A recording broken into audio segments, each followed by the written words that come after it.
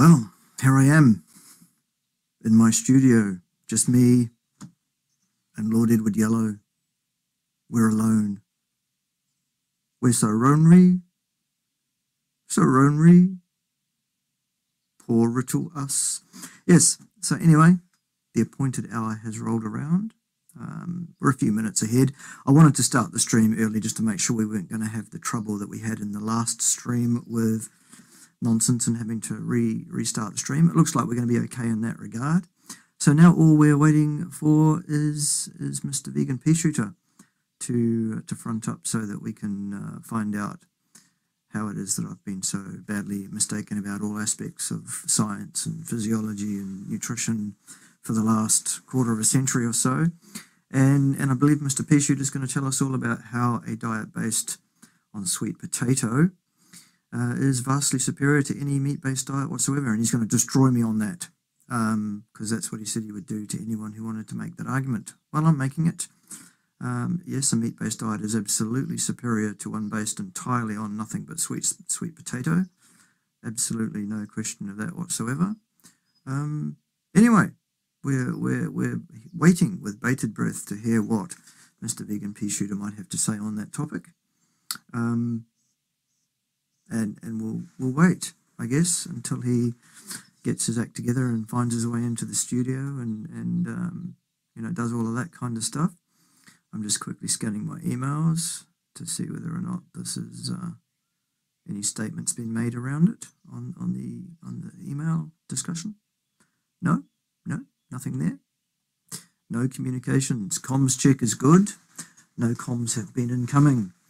And so it's just us, boys and girls, alone.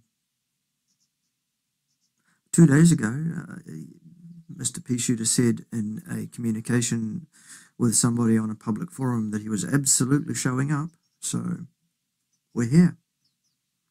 What should we talk about while we're waiting? Let's see what's happening in the chat.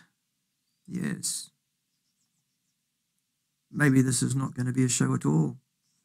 What a shock. Uh, perhaps it would be epic if there were two participants. It makes it a lot easier to teach me a lesson and destroy me and show me how, how wrong I've been about everything if you actually show up to do so.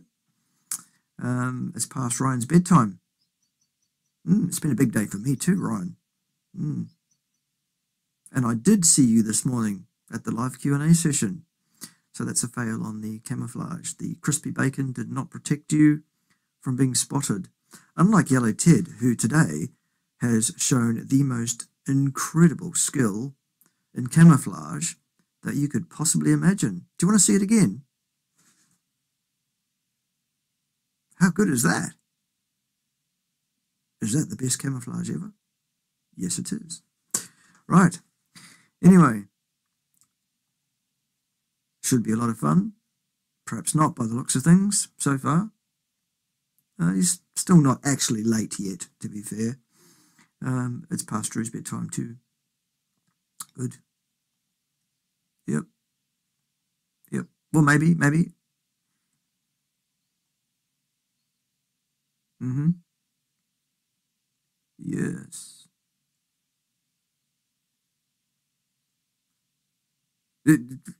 Finish early? Goodness, Ryan. We don't want to be finishing early. Uh, right. Mr. Bazooka joins us live in the studio. We're online, we're live, we're already broadcasting. I started a bit early because the last stream was a bit of a problem and we had to reset the whole stream and it was a, a different feed and everything. Pain in the ass. Anyway, welcome to the show. Thank you. Thank you for this opportunity. Not good at to, all. To be here talking with you. Not at all. Yeah, good. So basically, the the nuts and bolts, the skinny of it is that um, obviously you identify as a vegan. Yes. I, I, hope I pronounced that correctly. That's how you pronounce vegan, isn't it? Yeah, uh, roughly. Yeah. Yeah, good, good. Okay, and as such, um, everything that us meat-tarded meatheads have to say is in some way mistaken, wrong, and will lead to not only our early death, but the death of society and the world and the planet itself uh, before its time. And that we're basically evil people in some way. Um, but more to the point, you suggested in your critique of my good friend Joey the other day that you thought that it would be difficult for anyone to argue that a meat based diet of any kind could possibly be superior to a diet based on solely sweet potato. Yeah, yeah, absolutely. Good. Well, perhaps you'd like to share with us your reasoning for that. Um, well, so sweet potato. Um, there's there's a, probably thousands of individual species of sweet potato, and a, a, lot of them you can actually eat the tuber as well as the the green leafies that grow up on top. So you know, there's a lot of a lot of vitamins and nutrients and minerals uh, that's going to be available in there, and it seems to me, based on the evidence and just the research I've been doing over the last few years, that uh, you know, that's that is. I'm not going to recommend a sweet potato only diet to anyone, but that would be a high carbohydrate diet, high complex carbohydrate diet, which seems to be protective in terms of all cause mortality, heart disease risk, cancer, stroke, Alzheimer's, diabetes, all of those things. And then when you go over to the meat, it's like, oh, it causes heart disease and cancer and type 2 diabetes. so fantastic. Yeah. Would you like to point us to a single study that can inform us in any respect whatsoever on cause and effect as regarding human nutrition and any aspect of hard health outcomes in human beings over any period of time? Um, well, I would if uh, if you were open to having a data-driven debate, uh, which it doesn't seem that you are. I'm more than happy to talk about data if you've got any data of that of that nature. If you do, of course, that would be a world first that no one had ever heard of before, and it would be a shock because that data does not exist. The word you used was cause. Yep. The only way to establish cause and effect is with a properly designed, properly disciplined, properly um, randomized, properly powered, properly tenured metabolic ward lock-in study that's interventional in nature and controls every other degree of freedom that could possibly confound your result. Failing that, you are not talking about cause and effect. You are making an inference around association. And as such, your posit fails on that count. Okay, yeah, well, I, I thought you might say that. Um, but if, okay, if that standard that you hold is the 100% gold undeniable standard. It's not my standard, it's the standard of science. If you want to talk about cause and effect, and say there is scientific evidence to support a claim of cause and effect, those are the standards. They were put together more than 2,000 years ago. I wasn't even born. Okay, well, you know, mo- most most scientists disagree with that, but let's just say if no, they don't. Your, no, they don't. Pseudoscientists disagree with that. Scientists agree with the disciplines of science and they apply them appropriately. Okay, People well, that claim that... to be scientists aren't necessarily scientists. I heard you yourself not that many minutes ago claiming to have done some research. Doing research is what happens in laboratories, doing experiments. Scientists do that. Reading somebody else's research is not doing research, son. Okay, so if that's your 100% gold platinum standard, undeniable evidence, would you be willing to say that if something was at 99% of that standard, it could still be reasonably inferred that the results are pointing towards something that could have some truth to it. Have you got something that's 99% up to standard? Because again, well, that would be a world first. It does not exist. Being an expert in the literature and what's in it in this area, having studied it as an actual academic in this field, actually doing research in this field and publishing articles as first author in this field, I'm well acquainted with what's in this field. And I can tell you there's nothing remotely close to 99% up to standard on cause and effect in human nutrition. It is a ring fenced area of ideology, which is underpinned largely by theology. Okay. Well, you know, that that's one way of looking at it. Another way of looking at it would be to actually be like, hey, look, here's a meta-analysis meta-analysis of, of studies that show that uh, saturated fat is associated with cardiovascular disease. and and Oh, then do they though? do they take though?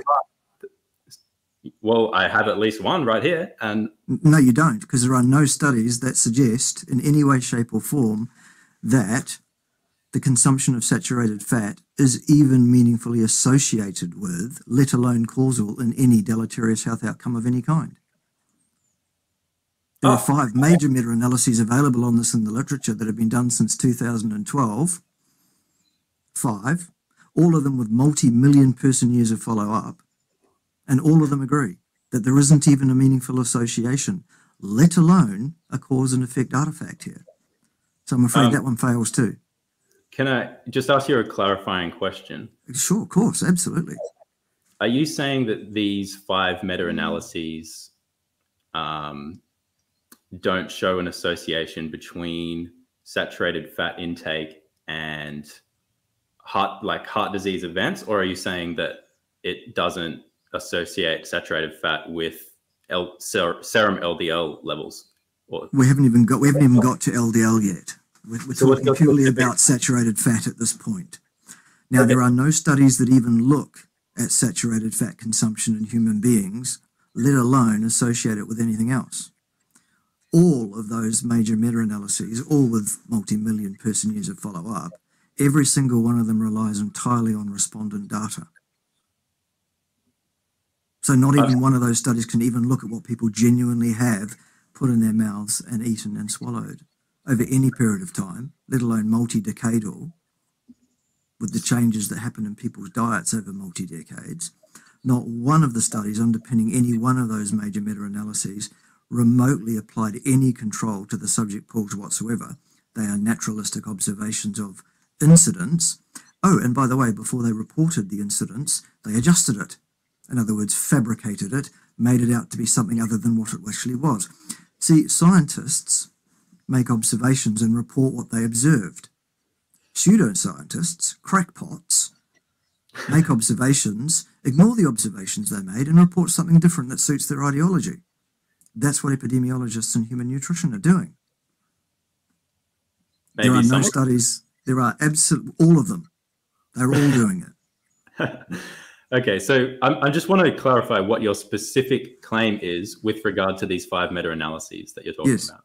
Yes, I think I was quite clear. My specific claim is this none of those five meta analyses show any meaningful association existing between the reported saturated fat being consumed by any of the subjects in any of those studies and deleterious health outcome in human beings over any period of time, short or long. They all fall Okay. flat on their face to show any relationship, even, let alone a causal artifact. See, the thing is, you cannot prove cause and effect with an association. But if you look for an association and it is not there, you can dismiss the idea that causality is an effect. Well, I can agree that if you look at a meta-analysis of like a compilation of epidemiological studies that don't have the statistical power to show a connection, then yeah, you could you could conclude from that meta-analysis that oh well, there's no there's Oh, no well, okay. Well, how about five major meta-analyses with multi-million person years of follow-up, all of which have massive still statistical power, and all of which agree, and all of which say there's no meaningful difference in health outcomes of heart disease or anything else as regards the consumption of saturated fat. well, hey, so like are we I, done? Okay, so are we done with saturated fat now? Um, I'll just say that I I spend my I spend my Saturday nights reading through uh, studies like like the ones you seem to be implying. So if anyone wants to send those my way, I'm happy to debunk each and every one of them. No, you, you Oh. can't debunk any of them because they are all very, very clear. I will There's debunk nothing- them with respect to the claim you're making about them. But you can't because the claim I've made is absolutely correct. I don't make false claims. That's the whole point. I've been doing this for more than I've been doing this for more years than you've been alive. Cool. I make sure that what I'm saying is absolutely above reproach because I know that people will try and take cracks at what I have to say. That's why I carefully craft every sentence that comes out of my mouth, word for word. Every word is chosen very, very carefully and very explicitly. You cannot debunk what I have just said because it is correct. There are five major meta-analyses. Yes, there are. Uh, yeah, I haven't All seen them but have multi-million years, person years of follow-up. Correct. Not one of them shows a meaningful difference between health outcomes of any kind in any of the subject pools in those studies between the lowest quartile or tertile or decile or whatever it was and the highest. Not one of those studies shows a meaningful difference in health outcomes as that relates to the consumption of saturated fat reported by those people in those studies. sure. so are we well, done uh, with saturated fat now? yeah, I guess it'll be funny for people watching me like splice in the little clip of me debunking them all. You really are deluded, aren't you, son? well, I, I've looked at at least five studies that people have made similar claims to what you're saying, and and they're not they're not uh, accurate claims with regards to what the study actually shows. Yeah, they are. What I've just said is accurate. Absolutely 100% accurate. No, but well, I'm I'm telling you, I have right at the top of the evidence hierarchy studies to Oh, prove good, it. good. Yeah, let's talk about that thing. Good, good. Okay, Yeah, yeah. go on. The Oh, evidence and- hierarchy, you say. Yeah, and what you're hierarchy. giving me, even if I were to steelman everything you just said, it's expert opinion, which is at the bottom of the hierarchy, and I'm looking at meta-analyses.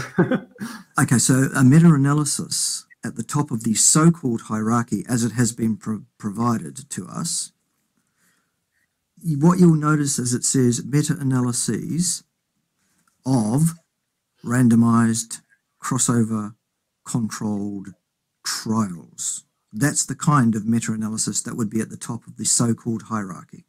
sure.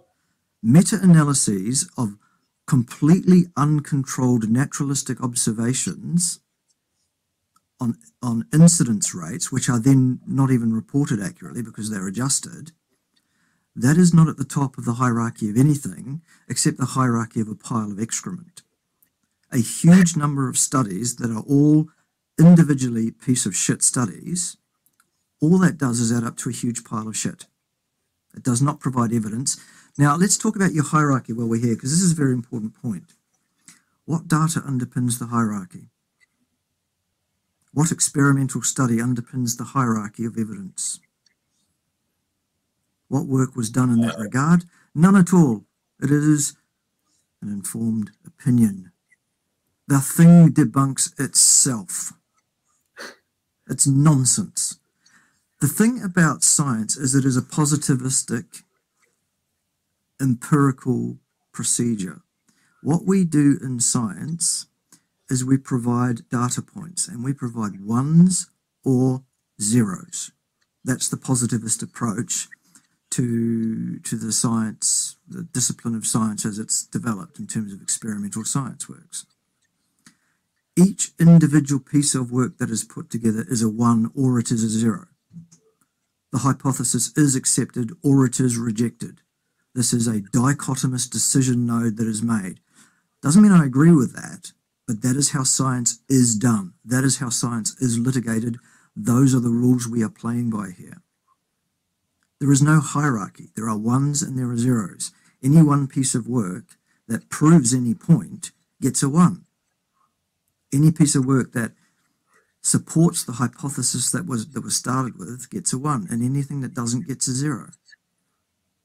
There are no ones at all in the field of hard health outcomes in human beings over any period of time as that relates to any aspect of human nutrition. If you want advice on what the science tells us about what the best diet for human beings is, you have to look outside of the field of human nutrition, so called science, because it's anything but science. It's ideology. It's anti science. It's crackpottery. It's um, propaganda. And it is charlatans who say things like, if you don't eat your fruits and vegetables, you might die. Okay. Well, um, So Yeah, there is well, nothing. So what I'm saying is there is nothing to debunk.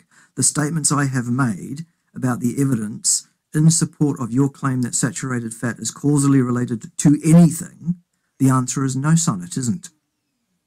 There is no evidence to support any claim of saturated fat being causally related to anything. Are we done with that one? Um, okay, sure. So, can I ask you a question about? Um, it was actually something you talked about when in your video response to me. Um, I was just wondering if you could briefly explain what, if any, test or series of tests could be used as a valid basis for assessing an individual's health. Depends on what aspect of that person's health you want to get at. I mean, health itself is a complex, multifaceted, uh, multi thread um, tapestry, if you like, because you may be healthy in some ways and very unhealthy in others. The most obvious example would be to be really, really um, healthy mentally and really, really unhealthy physically. It's possible. Or the other way around. Doesn't matter. If you want to know about the health of someone in terms of their blood sugar control, then you'd look at some measure of that. If you wanted to, a snapshot of, the, of an immediate, what is their level right now, you would take their blood glucose level right now. If you wanted to know about their blood level control over the last six to eight weeks, you would take an A1C reading. Horses for courses, there are tests that talk about various aspects of health or various markers of health or various physiological responses, for example. But there is no test of health. There's no healthometer. You can't go to the Acme company and order a healthometer machine and have that delivered to your house because they don't exist. I'm not really sure I can elucidate much further on that. What's the what's the crux of the thrust of the question? Bye. Do jump back in as soon as you've recovered or whatever. Uh, okay, so he's my fave of all vegans. We should welcome him to the carnivore community. Yes, the riding crop is out. Here it is, whipping people into line. Um, yeah, it's not though, Scott. This guy's serious. He really thinks that he's actually got some um, some ability to to to critically assess science. He thinks sitting around reading papers is the way to learn about science. Um, no, not at all. So, welcome back. Hey. Welcome back to the MCG. The news is you've missed a bit of a sensation here. The score is two for two for two. So, what were we talking about? Okay, so. Oh yes, health tests. Right. So there's no health test. What's the what's the thrust of the question? Yeah, if if I was getting all these accusations of like, oh, you're a vegan, you must be unhealthy how could I prove to them that I'm actually healthy? Well, it depends on, on what aspect of health you're talking. Because as I said, it's it's a multifaceted thing. There's no such thing as overall health. I, I think okay, you well, just made that. Yeah. Yeah, sure. So, I mean, obviously, like you're probably not going to agree that um, serum LDL is something to worry about, but that's something. It is absolutely not. There's there's no equivocality there whatsoever. LDL is not a marker of health in any okay, way, so unless you don't have enough of it, in which case that's a problem. Yeah, it's a slight risk factor for heart disease, but anyway. No, it isn't. No, that's um, wrong. False. Sorry, false.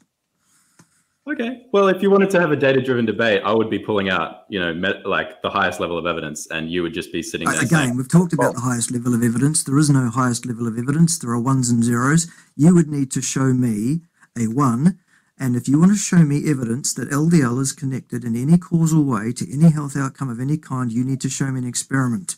Such an experiment needing to be properly designed, properly tenured, properly powered, properly randomized in the first instance, metabolic ward lock-in for the period of time that you want to extrapolate over, with human beings as subjects, those human beings being genetically identical at the outset. Otherwise, pop yourself directly off to fuck. Don't pop. To, don't pass go or collect two hundred dollars. Sorry, no. Well, there's risk. Yeah, risk is a cause and effect statement. It requires an experiment. Do you have one of those? I can tell no. you that. Okay, we're done with we're done with LDL two. There is no experiment that can prove that point. None at all. I think the the ball is definitely in your court on that one because you would have it to isn't. Why would it be? You're Well- making a positive claim. You are saying risk. So are. Risk is a cause and effect statement. I'm saying no evidence exists to support that claim. Are you You're the claiming one that has to supply the evidence. If you want to say there's evidence that risk is in play here, risk being a cause and effect inference, then you are required to provide the empirical evidence that that is so, and that will take the form of an experiment. Now, you and I both know that does not exist. That study cannot be done ethically, it cannot be done morally, it cannot be done practically, and it's financially impossible as well. That is not my problem. That is your problem. You are the one making the positive claim. Ergo, it is you that is required to support that claim. No, I'm not. You said risk. Risk is a cause and effect statement. That is a positive claim. Well, I'm saying if anyone were open to having a data-driven debate with me, I would be pulling out meta-analyses, randomized controlled trials as supporting arguments, and you would There are no randomized controlled trials that can support that. You're making shit up now. Yes, there are meta analyses, but they are not of randomized controlled trials. Well, yeah, I'd love to see you take apart the methodology and explain why it's not uh, valid. I could do that without breaking a sweat on any one of these papers. Any one of them. I'm sure you And I have done repeatedly over several years being a YouTube channel creator, and not one person has ever come back to me and provided me with a single reason why I might be mistaken that was valid. Okay, well, uh, link me to What your. makes you think? What makes you think you could do it, son? Oh, I will. Send me your best video. I'll debunk it. I, No, you won't. No, you won't, son. You won't get anywhere near it. You have no idea what you're talking about, even. Well, you're always. What makes you think you have the first clue of what you're talking about? What makes me think I have the first clue of what I'm talking about? Yeah. Where did you Um, get that well- idea from? Who, who put that idea in your head? Oh, I I just go by facts that I can confirm by science. Facts and science. Okay, well, facts are determined in science with experiments. Yeah. Let's go back to that. So, have you got any experiments to back your positive claim that LDL is in any way related risk wise to any outcome of any kind? Absolutely. The answer is still no. Vast hundreds of studies. There are no studies that show that, not one. Okay. Not a single study shows risk. Risk is a cause and effect statement. Well, you, look, I don't want to get stuck on this because I'm willing to have a data-driven debate with anyone on my channel, and they can bring unlimited evidence, and I will knock it all down. And no, you uh, won't. No, you won't. You won't get anywhere near me. Not in a million years, son. All right. And anyone with more than three brain cells to rub together knows that. All right. I was a professor of health science before you were born, son. Okay. Well, okay. If if I pulled off a mask right now, and it turns out that I was older and more qualified than you, would you just go vegan? No, I wouldn't. Not in a million years because I know better. Because it's there's absolutely no way to support that claim. then why bring up the fact that you're more qualified than me? Because I'm pointing very clearly to the fact that you're sitting there saying, oh, I'm going to debunk this, I'm going to pull that to bits, and la, la, la, la." you have no capacity. You don't have the tools.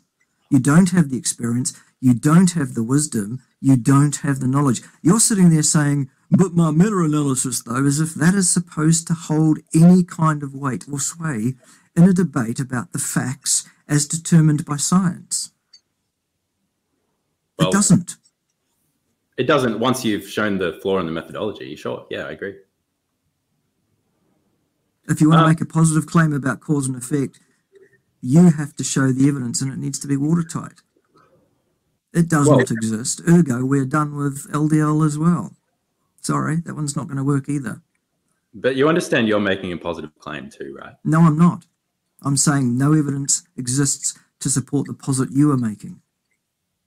Oh, so so you wouldn't even say, for example, that saturated fat doesn't cause heart disease. I have no evidence to support that claim other than the inference such that it is, being an associative inference, those five meta analyses, would suggest that the association is absent on a meaningful scale. Ergo, it is very, very unlikely. But I can't say it doesn't. However, I don't need to make that claim because all I need to do is live my life eating a perfectly healthy dose of saturated fat, as my ancestors have done for at least four and a half million fucking years. And as such, our bodies are all absolutely designed by natural selection pressures in that fashion. And uh, enjoy the rude health, that concept of health that we spoke about, that I'm enjoying, and continue to enjoy that. Job's a good one. Okay. Um, or, you can go vegan and quit that vegan lifestyle probably within, for most people, five years, 84% within five years, and 90% of those people citing catastrophic health failure as their reason for so doing. Those health failures born of the vast, patient, demonstrable nutrient deficiencies in that diet. Okay, sure. Um, Those are facts. All right, so let's just go back to the uh, evolution thing you were talking about. The evolution thing, yes. So, roughly, my understanding is if you go back far enough, you're dealing with our ancestors who ate a lot of fruit. And About then, five million years ago, give or take. Yep. And then, um, like early, early uh, recorded history, you've got um, people growing uh, agricultural crops. It seems to me that your argument is that the at some point the level of meat we were eating went up, and then probably back down a little bit. When when do you think we started growing crops? Oh, I'm I'm not uh, uh, really qualified to answer that. Or anything else, but let's deal with this one just now. Okay, I'll I'll give you the answer depending on geographically where around the world, there was a slight difference in the time scale at which people were growing significant amount of crops, cultivating food in that way. Uh, food, it's not even food. Uh, it was about somewhere between eight and 12,000 years ago. All right. And before so, that, human beings in our current speciation, in our current form, were walking the earth for, three and, uh, for 350,000 years before that. And before that, and things that speciations that weren't quite human, but very nearly, uh, for four and a half million years before that. Um, it was about five million years ago that we started coming down from the trees. The climate was changing. That was a less successful approach. We saw those yummy, yummy animals on the plain. We stood upright on our hind legs. We used our thumbs and our brains and things, and we fashioned sharp, pointy sticks, and that was all. It was all over from there for the poor old mammoths and etc. Yep. Uh, so you would agree that like 99% of our anatomy came into being through evolution that was plant based. No. Well, well, then why would why would they be um, you know it's more or less more than 90 something percent. It's probably close to 100 in terms of our oh, body yeah. plan. Okay, that's good. Yeah, yeah. Two arms, so, two legs, opposable thumbs. We had a prehensile tail. We don't have that anymore um, that's one of the things that's that's no longer required. So it's it's it's been knocked out. But what's your point? So how much meat uh, do you think we ate at the peak of this uh, transformation revolution? Well, it's not what I think. We have the facts. We have the science on this. It's the stable isotope testing. It gives us the answer. It tells us that roughly 80 plus or minus 5% of everything that went into human mouths over the last 350,000 years, except for the last 8,000 or so, was meat and animal fat, mostly large ruminant animals. 80 plus minus 5 yeah. percent yeah. measured as as the equivalent so-called energy or caloric intake. Okay, so when I hear that, my brain goes to okay. There's there's more than one way of measuring food, right? There's calories, there's grams, and then there's uh, what was the other one? It's uh, calories, grams, and serving size, or, uh-huh. or, or just servings in general, or like you know number of meals. So it seems to me that you know 80 plus uh, 80% plus or minus five is mm-hmm far from carnivore. In fact, that's com- compatible with a plant predominant diet. No, it isn't actually. If you look at the the descriptions used by anthropologists and, and physiologists of you know any department you like, basically, they'll tell you an animal that gains more than seventy percent of its energy intake from animal sources is a hyper carnivore. So again, where you would get your idea that that's remotely anything like a plant predominant uh, lifestyle. I've got absolutely no idea where you would get such a ridiculous notion. Oh, just by the way, the, the, the 20% or so that wasn't animal based stuff was actually largely fibrous, almost zero carbohydrate containing tubers. Well, that even subsistence type stuff. It doesn't do anything of the sort. Why would you get such a ridiculous idea? Well, fiber is more or less zero calorie, right? Well, in effect, yes, but its, calor- its caloric content is still measured as being a certain amount if you burned it suddenly in a bomb calorimeter. Okay, well, I'm just I'm just saying you could easily design a diet where most more than 51% of the meals that you consume throughout your life is plants and it would still meet your criteria of 80% uh, calories from animal products because animal products have so much higher caloric uh, density than than plants. Let's say you could do that. Yeah, Why you would could. you do that? For what possible reason would you do that? That's Plants are whole contraindicated.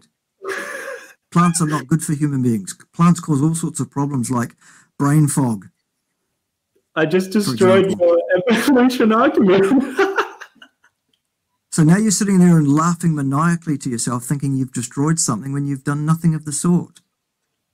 well, no. Well, you're the one leave, trying to leave to argue whether plants are healthy or not. I'm just telling you by the numbers you gave me, that could be plant predominant. But it wasn't. Okay. Well, what data are you basing that on? The fucking nitrogen and, and carbon isotope testing, you buffhead. I just explained that to you. it's Okay. You? unequivocal. It tells us the exact numbers of what was being eaten by human beings for the last 350,000 years. Yeah, I'm, I can see. Like, let's just. I don't have any. I've been seeing that. I don't have any better data, but just going by your own numbers, I'm telling you, it could be plant based. No, it's fuck me. Am I the only one, boys and girls, that is not that doesn't understand what this boy's even trying to say here? He's trying to he's trying to say he's destroyed my argument by saying something could be something when it fucking wasn't. We have Well, the answer. We know what people did eat. It was 80% flesh and fat of large ruminant animals and 20% tubers. Yeah. Okay. So here's an example of a tuber. So one serving of sweet potato might have I'm going to get onto the sweet potatoes now. This will be fun. one serving of sweet potato might have 100, maybe a little bit more calories than that. A A- small a modern steak- one, yes, one that's been selected for and bred for by modern humans to be more palatable and more tasty. Yes. What's your point? Yeah, so if, if you actually adjust for the fact that it might have had more fiber back way back when, it actually goes even further in support of my what I'm saying. But anyway, a small steak. No, it doesn't. How on earth do you make? Where are you getting this logical leap from? I'm just I'm just going with the data that you gave me. Okay, keep your voice below the threshold of pain and answer the question you've been asked. Outline your line of logic here. a small steak has Yes. 600 So calories. hang on, hang on. We were talking about sweet potato. Now you want to talk about steak. Which is it, son? If you add those up, you'll see that the sweet potato serving has about one sixth of the calories as the small steak. So So it well, sweet potato isn't even a ridiculously high calorie food. So you could easily see how that can you hold a cogent thought for more than three seconds? I'm asking you to outline a line of logic, and you are all over the fucking shop here. What do you want to say? What is your point? Ca- okay, can you can you understand how 20% of the caloric value of someone's diet could actually translate into more serving sizes than the other 80% if that 80% had six times the caloric density per serving size? It could, with some of the modern foods that are available. Could that have been done by our ancestors way back when? The answer is no. Because have those foods did not exist. They were not yet bred for, they were not yet selected for. the tubers that were being eaten were almost entirely fibrous, rooty things with very little carbohydrate or energy of any kind in them whatsoever. The caloric content of them being estimated by what it would be if you burn the thing in a bomb calorimeter, not the actual energy you get from it. Because human beings digest almost none of the fiber that they consume. So, in effect, the actual percentages are vastly skewed way above 80 when you understand basic physiology, basic human nutrition, basic human biological function. And I think that's your problem, son. You imagine yourself to know anything whatsoever about those topics, and you sit there making a ridiculous fool of yourself, laughing maniacally, thinking that you've got a point here, when actually all my people who are sitting here watching this discussion are laughing at you. You are the laughing stock here because you don't even understand the most basic tenets of what is being discussed here. You don't so have the most basic ticket to the to the ride here. So we agree every that child doesn't win a prize. Every child doesn't get a trophy. You don't get a trophy for participation, and you don't get to call yourself scientifically competent because you've read a couple of papers. Okay? You're out of your depth. What is your point here? So we next agree you're going that to tell me a, next you're going to tell me a sweet potato diet is better than any meat-based diet. That that's one I want to get onto. Let's get to that one because that was the one I wanted to focus on actually. okay. So So you want to back that one up with with anything? uh, the sweet potato thing. Yeah, a sweet potato, a diet consisting of nothing but sweet potato, you said is superior to any meat based diet whatsoever, and you would destroy anyone who said otherwise. Well, destroy me. Because I'm going to tell you any day of the week and twice on Sundays that a meat based diet absolutely is vastly, completely superior to any diet based on nothing but sweet potato. Okay. Facts. Let's go. So do you think do you think your I think I do, and I think that's the difference between you and I, son. But that's for another day. What's next? do you think your blood lead level on a carnivore diet would be higher or lower than someone on a sweet potato diet? What's that got to do with the price of fish in China in 1945? Well, 1945, wait, what? I was being facetious, obviously. Again, humor is one of those things that those of us who actually have some intelligence are able to engage with. Okay. What I'm saying to you is, what the what the purple fuck has that got to do with anything? Oh no, I, I would just be willing to bet that my blood lead level or my blood mercury level is way lower than anyone on a carnivore diet, like It might vastly. be, but it might be, but that's just one factor. Sure, it's a factor that uh, favors me. me. Not really when you look at something pretty basic and pretty straightforward, like tell me how much sweet potato do you think you would have to eat on a daily basis to meet the minimum end, the lower end of the recommended intake for protein?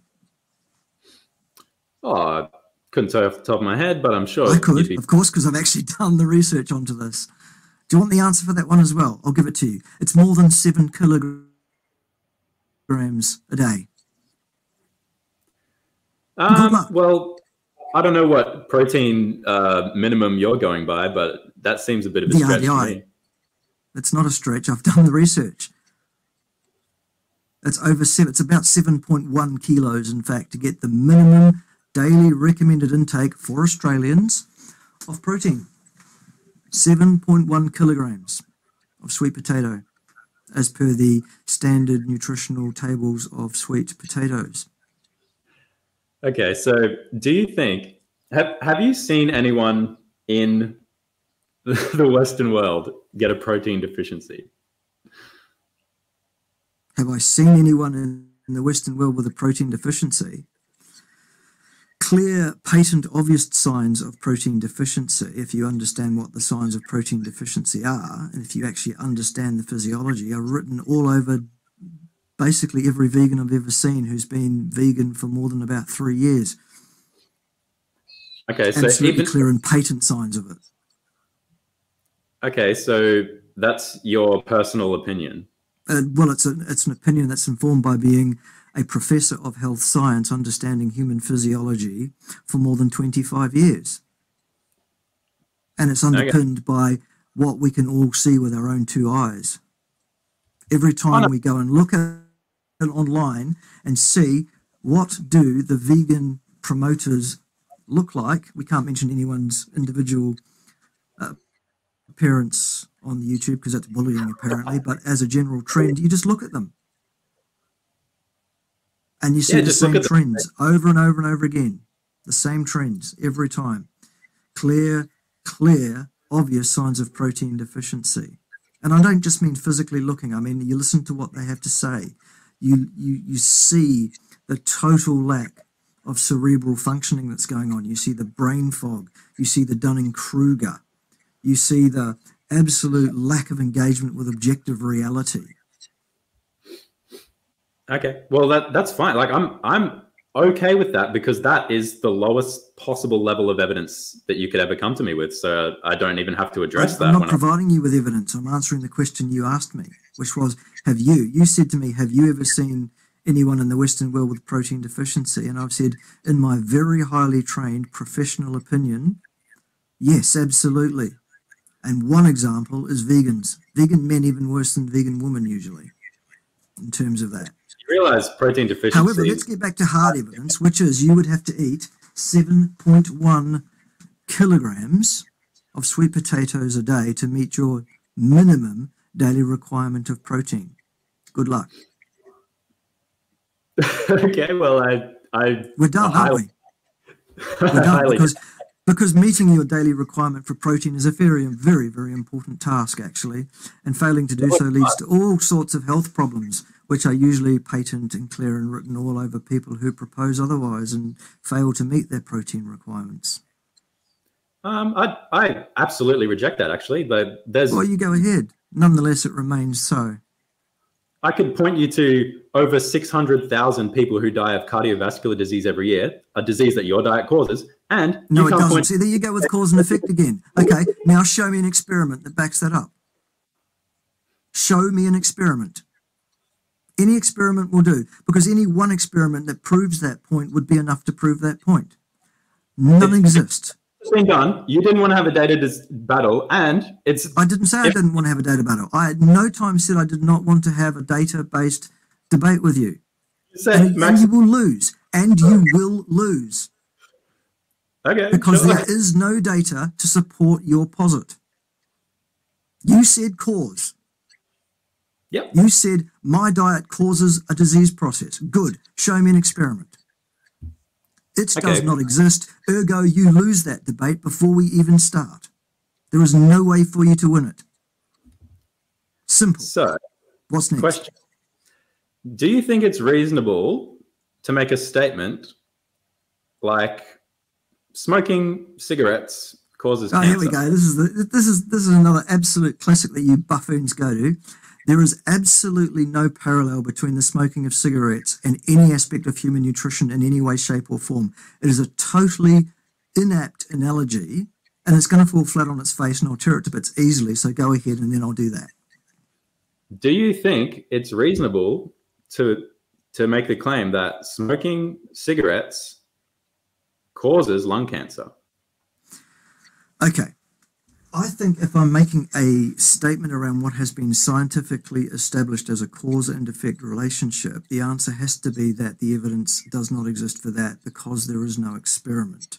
However, the incidence reported in lung cancer in populations who smoke, when compared to so called match pairs who do not smoke, is 11,000 500% per pack year of smoking.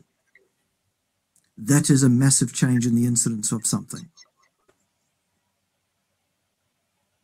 Okay. When you look at any aspect of nutritional epidemiology, you get something like 10, 11, 12, sometimes 20 and 30% for really big differences, all of which, by the way, have been adjusted and as such are invalid anyway but let's just say they were valid for fun, that is not the same thing. That does not have the same utility.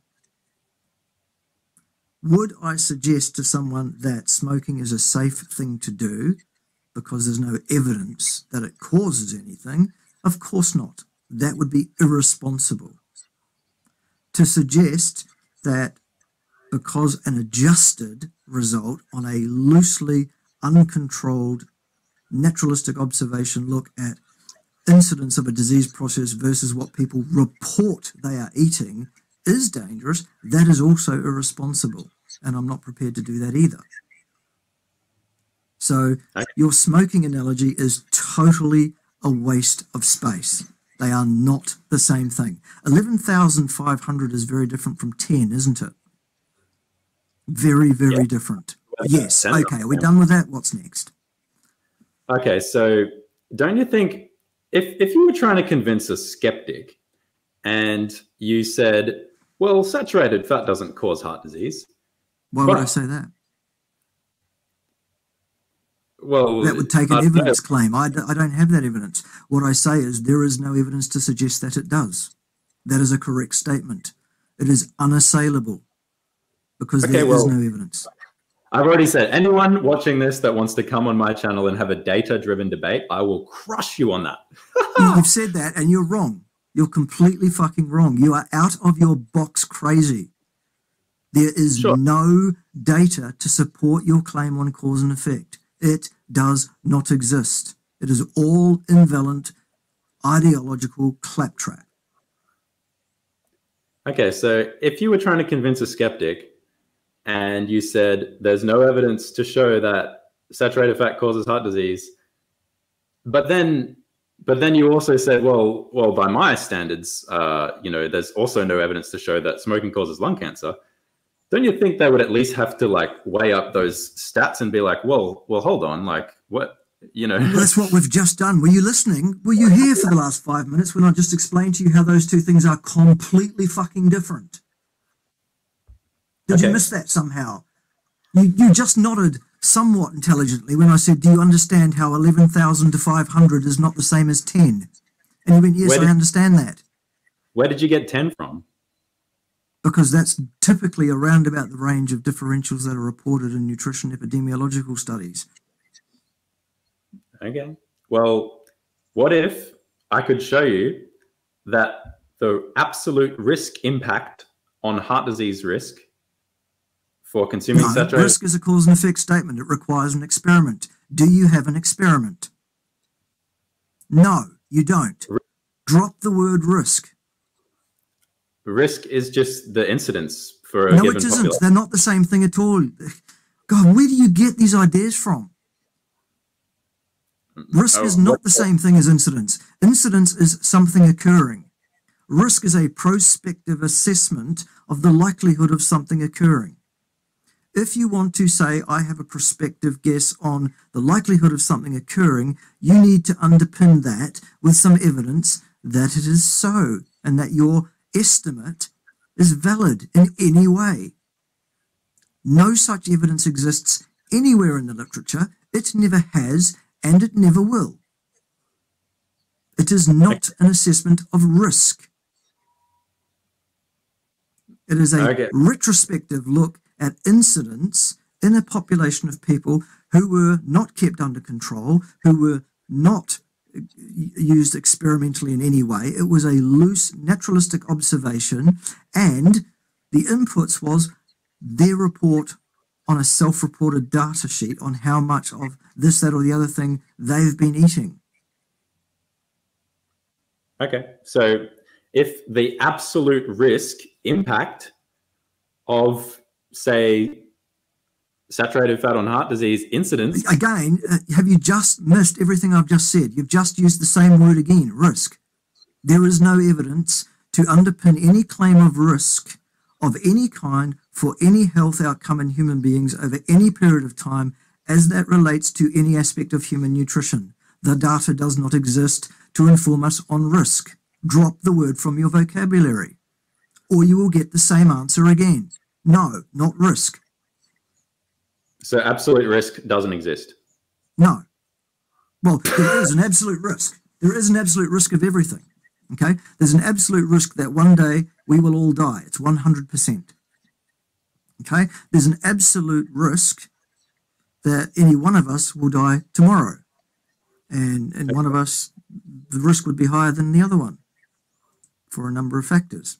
For example, however, to say there is a risk does not mean that you have the data to inform on what the level of that risk actually is, or that you can calculate what that risk is. To do that, you need experimental data. You don't have it because it doesn't exist. So off you pop back to fuck again. I can I can see that you are very keen for me not to be able to ask this question because it blows you out of the water. So no, it doesn't. I've dealt with your question by blowing it out of the water before you even ask it. There is no, and there is. Ask your question if you want to. It makes no difference. Go on, ask your question.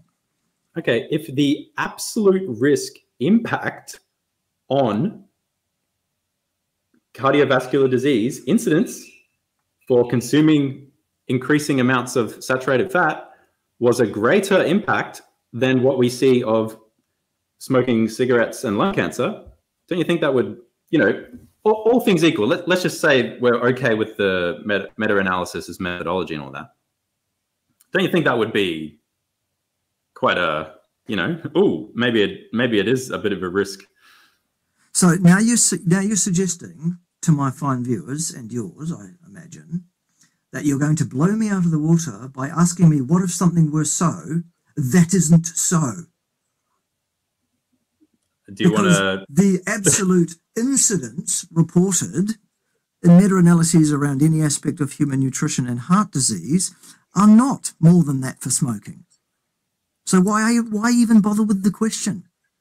Because 11,500% is what we get for smoking per pack year of smoking. What we get in epidemiological nutrition studies is usually in the range of 10%.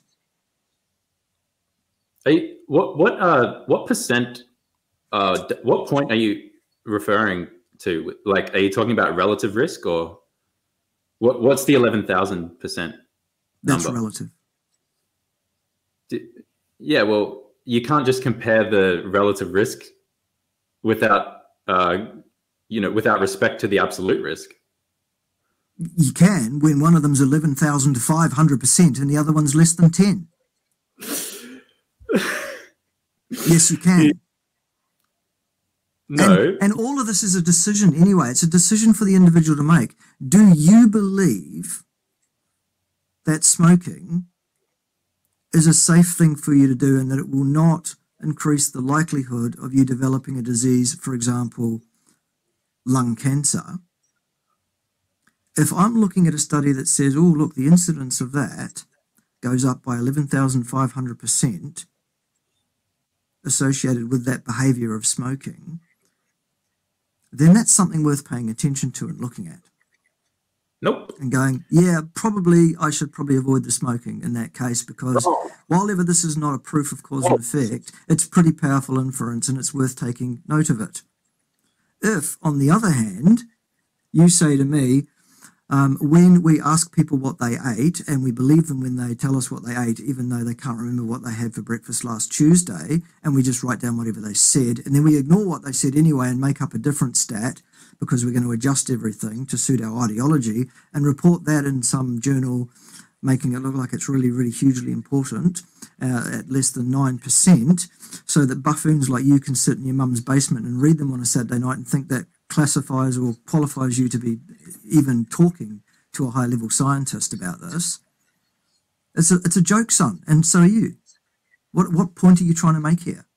You're trying to argue the toss with me about relative and absolute outcome statistics without any understanding of what you're even talking about. So, whenever someone gives you an absolute risk, your, no, your again, first... again, the first thing I'm going to say is no, not risk because you need an experiment to underpin a claim of risk. We've dealt with this three times already. How many times do I need to explain this to you? You do not have the evidence for risk, so stop saying risk. Whenever you are given a relative risk value, your first question should always be with respect to what absolute risk? And it always is. Yeah, well, first, with first, with first the caveat that I correct it. No, it's not risk, it's a reported retrospective incidence that's probably been adjusted. So let's get that straight before we even start. Ignoring those invalidating flaws for the moment, just taking it purely at face value, yes. Relative to what? Is always yeah. Relative to what? You're the one telling me eleven thousand is bigger than ten. Well, that doesn't it matter is. if. Yeah, it, it is, is by any it, metric, by any fucking measurement you like, it's bigger. It's relative number. It's not. That's right. It is. It's relative. You can't just. You can't. I can you see how much like he's trying to stop me from saying my my piece because it absolutely destroys you. No, it doesn't. Wrong again. Just saying something destroys something doesn't make it so. It isn't so. If you want to destroy anything I've got to say, you need to do so with some evidence that what you're saying is so. And you haven't done so. You've repeated yourself now four times, five times saying risk. You've already been corrected on that. It's not risk. You've failed absolutely to adapt to that statement of fact, which is unassailable. And you're just trying to repeat the same thing, to which I'm going to, introdu- I'm going to interject again, because you are still wrong. Okay, Neither well, if... statistic is anything to do with risk. So the 11,500 is not to do with risk. Neither is the 10%. They are retrospective I... reports on incidents, which can be extrapolated no further in time. Thank you, by the way, Julian. Appreciate your love, son. You're the best. Well, I'm the best, but you're the second best.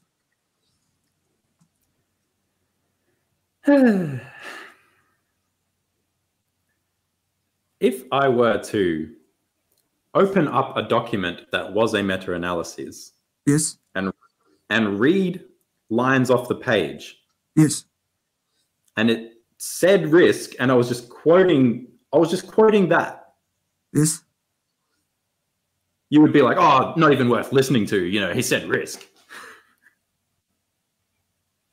Anyone who has watched more than five minutes of my material knows absolutely that just because the word risk is used by authors on those papers that doesn't make it correct. There is nothing magical, canonical, or the word of God in any way, shape, or form around words written on a page by scientists. Science okay. is litigated empirically, not verbally. Yeah, well, th- this whole like ninety percent of what you've said today is just narrative creation. That's the lowest possible level of evidence you could ever come to me with. So yeah, well, we've, we've dealt with your level of evidence argument. That falls flat on its face too. There is no levels of evidence. If yeah. you want to have a scientific right. discussion, it's ones and zeros. Proof of fact or lack of the proof of a fact. Ergo, rejection of the fact until proof can be brought to the table that the fact is so. Okay. That's how science is done. Yeah, cool.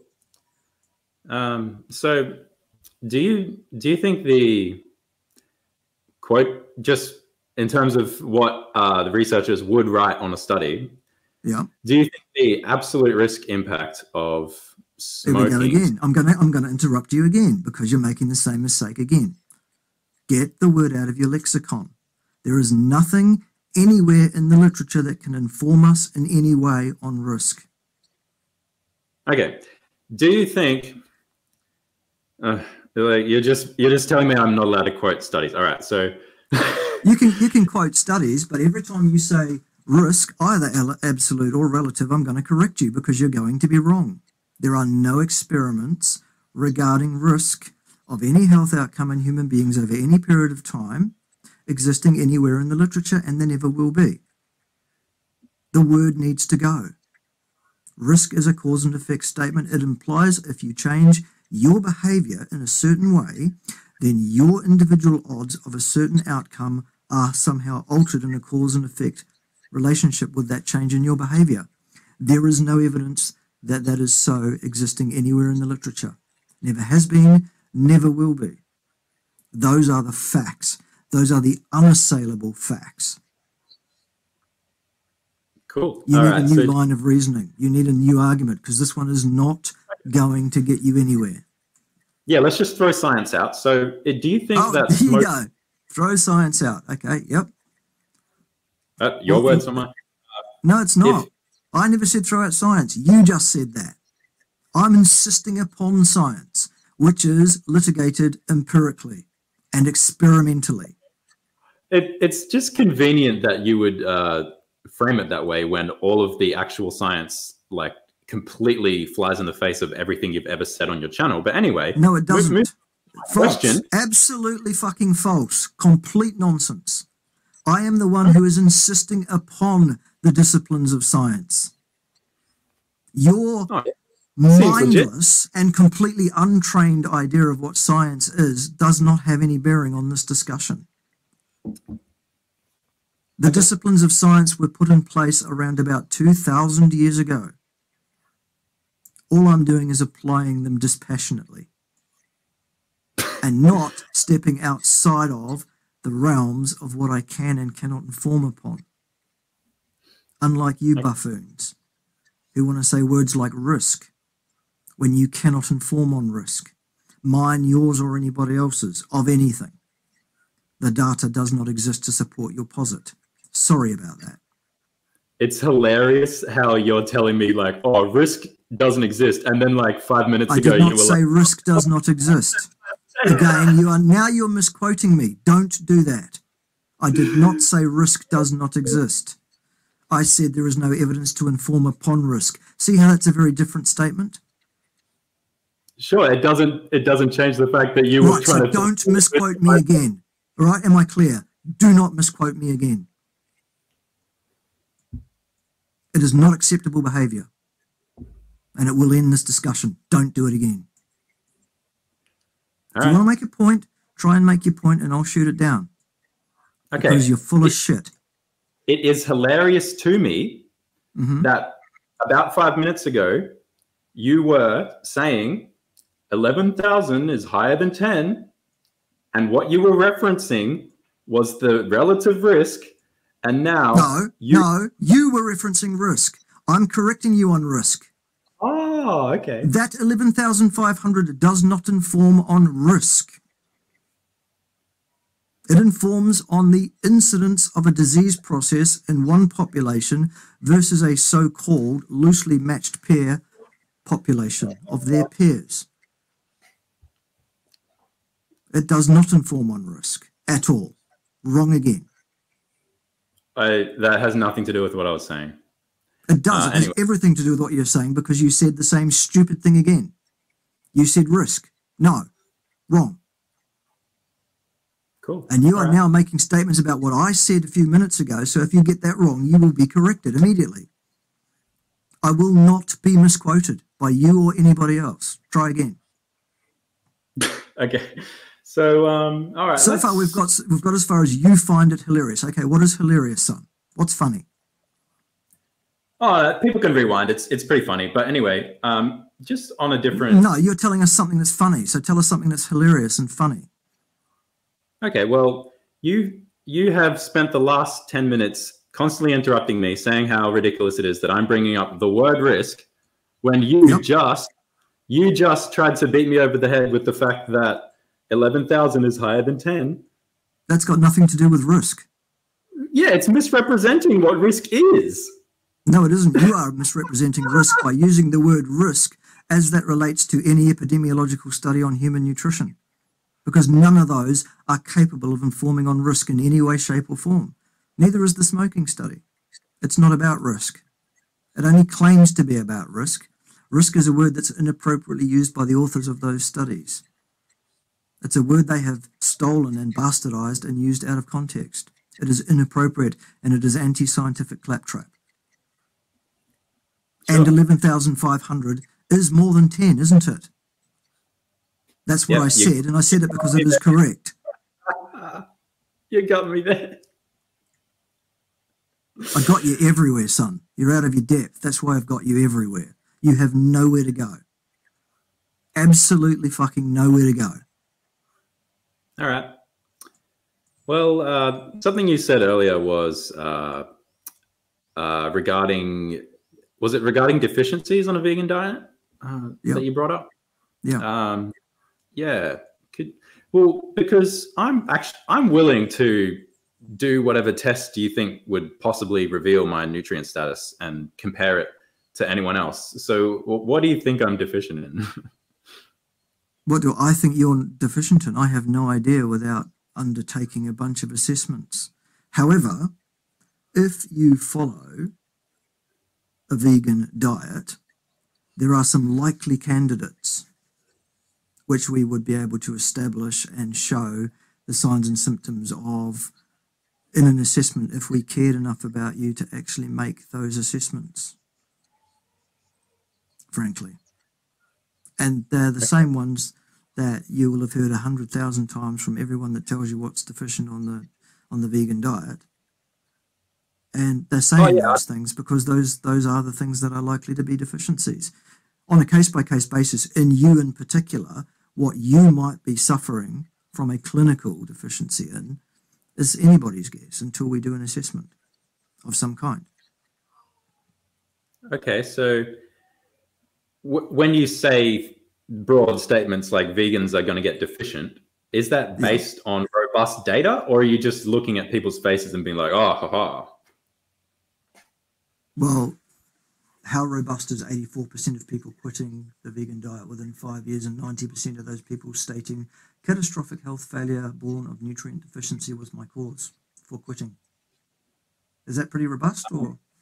No, because 84%? that that could be the case, and it could still be the case that vegan vegan is the healthiest way of living. Uh, That's That but it doesn't isn't though, clearly. I mean, just take a look around. All you need to, you don't need evidence, you don't need science. You, all you need is some common sense and a pair of eyeballs. Just go and have a look around, and you'll see that veganism is absolutely not the healthiest way to live for a human being. It Yeah, so just- clearly, absolutely, unequivocally is not. Yeah, so I just asked you if you have any robust data, and then you brought up a number, and I told you that's still compatible with what I'm saying. So, yeah, What's compatible Cool. with what you're saying? it could be the case that uh, whatever the number was, 80% vegans quit in X amount of time and cite, Yeah. blah, blah, blah. Mhm, That, mhm. Blah, blah, would- blah, yeah. Mm. yeah, that wouldn't necessarily rule out the possibility that the majority of whole food vegans are the healthiest group of people in the world. Yeah, without deficiency. That- That'd be fine if they were, and you could show me some examples that they are, but the, that's not the case. Anecdotes is asking what you need to go to because there's no evidence, because there's no nutrition science, because there's no good stuff we can go to here. You need to go to your anecdotes, and no, whole food You're vegans are not the most healthy people in the world. They're not. I'm, I'm, Sorry. I'm asking for data, and you're accusing me of going to anecdotes. You're the one telling me, like, oh, just look around. I didn't accuse you of anything. I said if you want some kind of inference on health outcomes in human beings as that might associate with various aspects of their lifestyle, including potentially diet in some way, then you need to go to anecdotes because there isn't any evidence of a scientific nature to inform us on this question. My viewing of the universe, of the objective reality in which I find myself every day of my life looking around the interwebs, is that the healthiest people are not so called whole food vegans. In fact, that seems to be a vastly unhealthy way of living in the mediumish term and certainly in the long term, absolutely without any question. Anyone that lasts long term on that diet, they're an outlier on the bell curve usually because 84% within five years quit, remember? Um, they're pretty good anecdotes, I think. Well, it it's got the you know randomized trials showing positive uh, you know outcomes in terms of cardiovascular disease. No, you don't have randomized trials showing anything of the sort. That's a, another false statement. No, there aren't. You're talking about the Esselstyn study and the Ornish study. Yep. Neither one of those is a randomized control trial. False again, son. Neither one of those had a control group, son. That's you know a randomized control trial. Ingredient number one is a, is a control group. They didn't have one. Did I say control? You did. You said randomized control trial. Randomized trials. Still, where's They're the not carnivore one? They're not randomized either. They're self-selected participants, people who said, "Yes, I want to try your vegan diet for X amount of time." Yeah, and it went pretty good for them. Some of them, yeah. Yeah, so where's where's the carnivore? You know, a, a heart disease. Well, there, there is there is only one study available in the area of the so-called carnivore diet so far, and it's another associative piece of epidemiological crap put out by Harvard. Actually, it's that latest study where they looked at I think it was 2,600 carnivores for that have been carnivores for six months or more, and asked them a bunch of questions about how they feel about stuff and things. It's not really science any more than anything that Ornish or Esselstyn did. so the only evidence for your diet is But let's get back pile to the claim you made. You said there were two studies which support or even purport to support an effect on health heart on heart health, cardiovascular health, and those two studies are the Esselstyn study and the Ornish study. Well, neither one of those studies makes the point. Both of those studies are so full of methodological holes that it's a joke, son. Neither one of them supports an effect of any kind. For a start, did you understand that neither one of those diets that was used in those studies was actually a vegan diet? Did you know that? It was it was far from carnivore, I'll tell you that. That's not what I just said. I said, did you understand that neither one of those diets was vegan? If you didn't, you haven't read the paper. I mean, clearly you haven't read the papers anyway because you said control trial. Neither one was a control trial. Well, Mr. core I've of been sitting, Mr. I've sat and read all the studies that didn't even know what how the study was made or put together. How about this? Patients were advised to continue their statin medications. Whoops. Cool. Confound. Absolute confound. End of study. No control group. Participants were advised to continue their statins. Okay.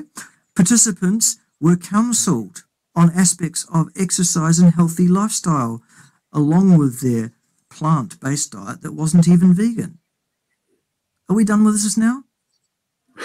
Mister, I'm going to bring all the studies and tear you to pieces. um, well, okay, you're the one who Yeah, yeah, yeah, you're out of your depth, aren't you, son? It's time you admitted it. You're completely out of your depth. you're the one who ruled out the possibility of a data battle. Let's just No, I didn't that. at any stage, remember? At no time did I do any such thing. I have the email. False. It's, it's fine. I have the email too, and you are lying. I never said that I do not want to have a data battle with you. For a start, that would be um, even easier than this ridiculous word salad I agree. going I through here. Because because you would be coming to a gunfight with a sausage in that regard because you don't you don't even understand what a control trial is. You don't understand what a confound is. You don't You're understand just- what a construct is. You don't even know how to, def- to define what is cause and effect and what isn't. You are completely unarmed for a battle of wits with me about science your dunning-kruger is absolutely stunning conveniently trailing away from the fact that the the two randomized trials that I just brought up show They're not randomized trials. They are self-selected trials. We covered that too, remember? I'm scared. Self-selection is not randomized any more than control is not control when you don't have a fucking control group. Neither is it controlled when you have four or five different interventions in parallel. So how do you define which one was the cause of any outcome that may or may not have occurred? Was it the not even vegan diet? Was it the continuation of the statin drugs? Probably unlikely. Was it the exercise and counseling? Was it, what was it? What caused the so called regression, which, by the way, they didn't establish empirically either, of the heart disease? You clearly have not read these two studies. Or if you had, that points to your absolute destitution of competence in reading so called scientific literature, because neither one of those pieces of work is a scientific piece of work. They are both ideological claptrap. Neither one of them is, is closely akin to science. This is ridiculous. So we agree that those participants experienced favorable outcomes in terms of No, we don't. They didn't establish that. Oh, They made I- some sorry. reports on some aspects of things. They did not establish it empirically. Okay. Well, just because something doesn't meet the highest possible level of empiricism doesn't mean it shouldn't be recommended. There is only Ah. one level of empiricism, ones and zeros. We covered that right at the beginning. There is no hierarchy of evidence. One has been proposed, but it debunks itself. Are you hearing that sound problem? Um, not me. No, sorry. Okay, it's just on my end then. Fucking thing. Stupid sound system. Okay, so yeah, there are there is a hierarchy proposed, but it's nonsense. Evidence, scientific evidence of cause and effect of fact and fallacy is litigated empirically, and that's done with ones and zeros. That is the scientific discipline. That's a positivistic endeavor. We have a decision to make. A hypothesis is supported or it is refuted.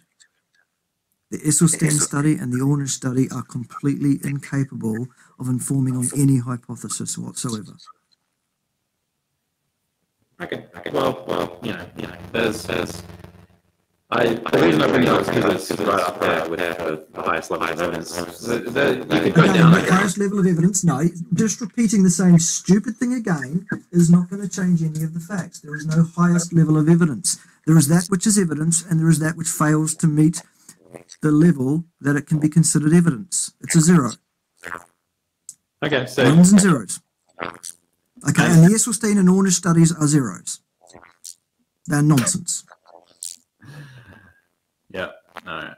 So, what are- what are your thoughts on um, what are they like um, individual case studies where they take someone with heart disease, Yep. switch them switch them to a plant predominant, you know, relatively whole food diet, Uh huh. and they experience lots and lots of improvements, and then there's there's ones where they switch them back, and then it gets worse again. N equals one anecdotes are only valuable for the one person on which they were collected. My story about how- what I experienced is only of any use to me. However, if you can collect up tens and hundreds of thousands of anecdotes, which all report very, very similar things, then possibly there's something that's worth your consideration. And maybe Yeah. one day we can hopefully do some science to support some of those things. At the moment, though, it doesn't seem likely that we're ever going to be able to. Okay, so And as so we, such, we will continue to have these discussions because people like you will have the arrogance to believe that you are remotely um, equipped for a discussion in this regard. Okay, so we agree that it's possible that uh, you know whole food vegan diet is the best uh, in terms of heart health. No, it isn't. I'm quite convinced it is anything but because it is grossly, vastly deficient, if nothing else. Well, um, what what deficiencies are you implying that would in, impact heart health? Well, there are many deficiencies in the vegan diet which absolutely would be highly likely to impact on one's heart health over a lifetime. Okay, well, I've asked you before if you can name one. I can name any number if you like. Vitamin B12 is an obvious one. That's the first one that people will go to every single time because there's no vitamin B12 to be found in the plant kingdom. The same is true of vitamin A. The same is Okay. true of all sorts of things like K. Okay, well, um, I uh, How about the fact that you have to eat 7.1 kilograms or, or basically 15 pounds of sweet potato a day to meet your basic protein requirement? How about that? Well, it's a bit of a straw man if we're talking about a whole food vegan diet, but I also don't really believe that you're going to be protein deficient on that. Um, I'd like to see some evidence of that. Well, I'll tell you what, why don't you do it? Eat nothing but sweet potatoes.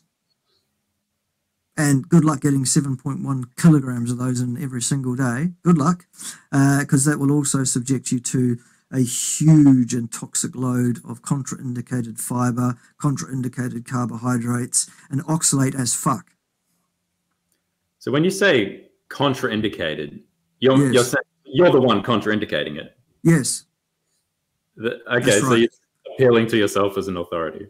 Not really. I'm appealing to the one and only one, even remotely close to clinical study on bowel function that's ever been done regarding fiber anywhere in the literature, which is absolutely unequivocal in its results.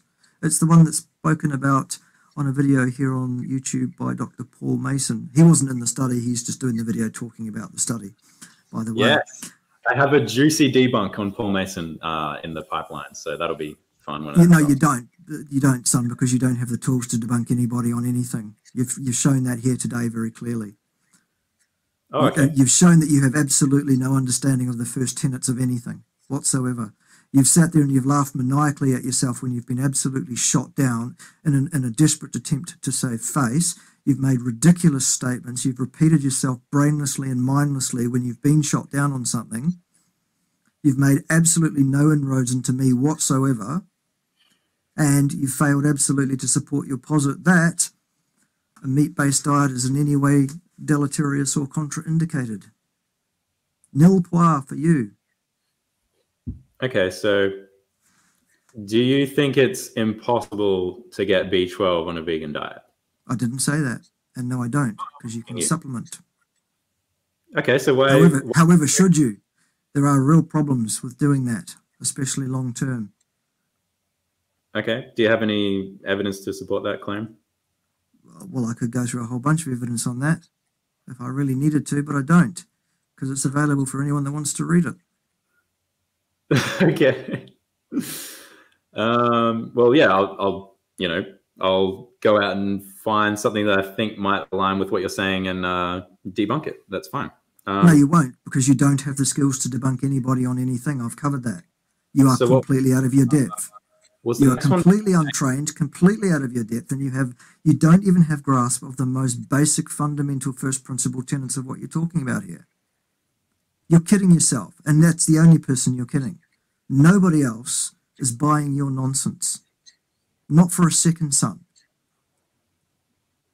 I, I don't know why you think it is that that you have anything of any credence to say here on this topic because you've, you've fallen flat on your face today. Absolute failure. Total failure. Okay, so what, what's your vitamin A argument? What is my vitamin A argument? Yeah. That there is no vitamin A in plants. Okay, but well, do you think that translates into a problem for vegans? Well, vegans have many problems, some of them related to lack of vitamin A potentially. Most of them probably related to things like, in effect, an inability to hold on to, metabolize, and digest a sufficient amount of protein. Clearly, patently, and obviously. That's what it seems like to me anyway. In the absence of on- data, yeah.